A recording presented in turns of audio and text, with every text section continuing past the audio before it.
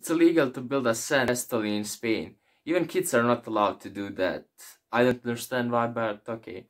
It's illegal to pee in the ocean in Portugal. I don't even know how they would regulate that law, so yeah. Married woman is not allowed to get more than one glass of wine in Bolivia, because they believe that that will make them more immoral. Yeah, and husband could even get divorced if his wife drink in public. So yeah, it's illegal to climb a tree in Toronto.